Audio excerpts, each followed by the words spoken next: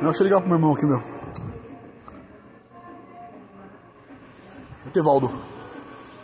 Chamando.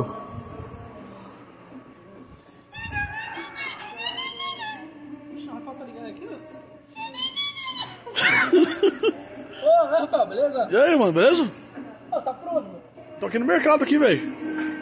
Ah, sim, então vai comprar o que de banho, mano? Ah, tô comprando uma, umas cachaças aqui pra nós tomar hoje. Eu tô aqui no verão, mano.